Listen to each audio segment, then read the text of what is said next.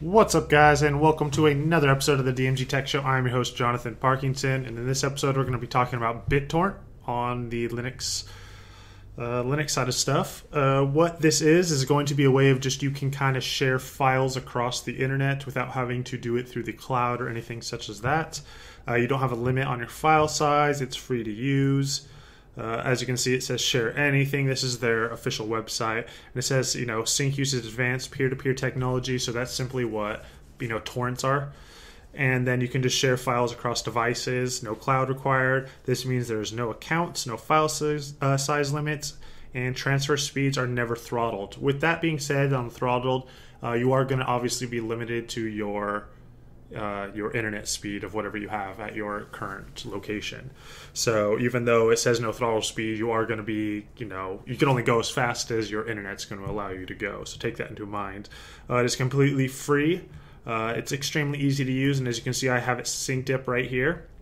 And the only way it works is uh, that's it right there. So you want to make sure that the file that you download, which I will have a link to this website so you can make sure you get the beta version. You'll just come into it, you'll click the download version of it, you'll come down and find your Linux, whatever you are running. So if you are in, let's say, a Samsung uh, ARM or Samsung Series 3 Chromebook and you have uh, Crouton installed, you're going to be on the ARM.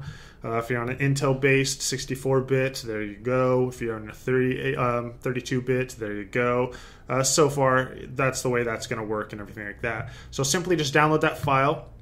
Uh, where's my folder at? Uh, that's what that's going to look like right there. Uh, you're going to need to know the name of this. Uh, you're going to then need to install it. To install it's pretty simple. Uh, I'll go ahead and open up a terminal.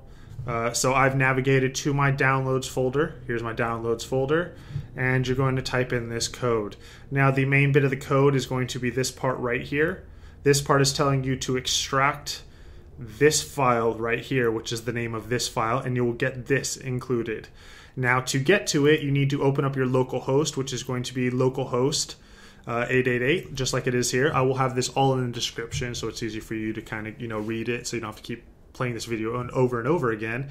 And once you go ahead and enter that, it's going to ask you to sign up with a new username and account or whatever. You don't need a, uh, an email account or anything like that. Just create whatever username you want.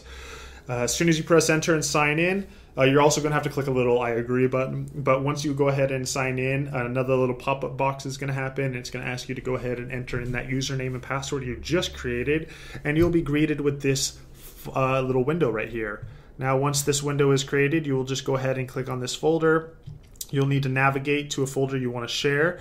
Uh, if you want to get to your main folders, you're going to go to Home, your username, and there's your downloads, your documents, you know, all the folders that you would see normally right uh, on the home folder. All these folders right here are right there. So I'm going to go ahead and share the downloads folder just to make an example. And there you go. Now, if I come over here and I click the share button, you're going to see how long it's going to expire, the three days with the link. So if I send a link to somebody right now, if they want to go ahead and do that, uh, it will expire in three days. I can change that to whatever I like to do.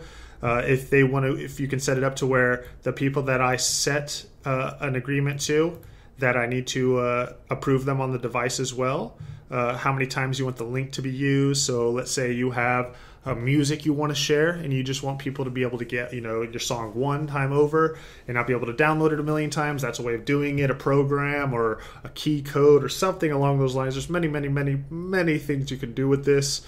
Uh, make sure you do set it to read only unless you want users to be able to get into that folder and manipulate it without you knowing. That's you know kind of what that's set up there for. And then you can just either send it in a qr code you can copy it and send it maybe in an email or whatever you want to do, or copy it and put it on your social media site.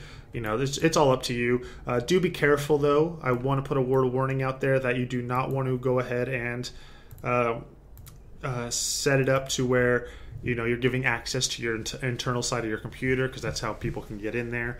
Uh, make sure you know where you're sharing it, what you're doing with it, and you know just put a little heat of warning out there. Uh, but that's all I really wanted to talk to. It's a completely free source. Uh, real quick, you'll see on the bottom if you are sharing stuff, the uploads and download speeds that are going on. So if you have a lot of people on it, you take that into consideration.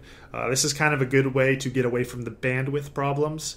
So if you're, let's say you have a domain and you have something that you're trying to share to users and you have an extra computer, you can always set that up as like kind of a home server set this up and then have links come directly out of this that way that your website is not going to get knocked for you know going over its allowed bandwidth per month because that can get kind of pricey uh, this is a good way for maybe podcasters or you know if you want to share videos programs if you have a developer and you want to share something that this is a great way of doing it as well but that's all i really want to talk to this is called BitTorrent Sync. Remember that it is available on your mobile devices as well. Take that in consideration and available for Windows and Mac. So it's across the board, ready for us all, thankfully. And it is free to use. It says it is in beta. Uh, I've been using it for about a week now. It's pretty smooth, pretty easy to do. Um, and if you do have any questions or comments, as always, leave them down below. Again, in the description, I will have all of this kind of written out a little bit, pretty simple. You know, at least the commands to get it, the links to find it, and so on. But as always, thanks for watching. Don't forget to subscribe, and I will see you guys next video.